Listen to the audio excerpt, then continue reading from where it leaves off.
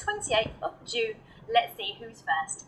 We have a birthday girl here, and it's Leah. It's your birthday today, Leah, and you're having lots of underwater fun with the Octonauts for your fifth birthday. Happy birthday to you. Lots of love from Mummy, Gran, Gran Island.